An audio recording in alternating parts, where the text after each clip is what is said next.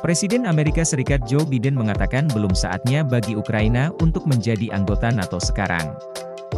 Perang Rusia di Ukraina harus diakhiri sebelum NATO dapat mempertimbangkan untuk menambahkan Ukraina ke dalam jajarannya, ujar Biden seperti yang dilaporkan CNN.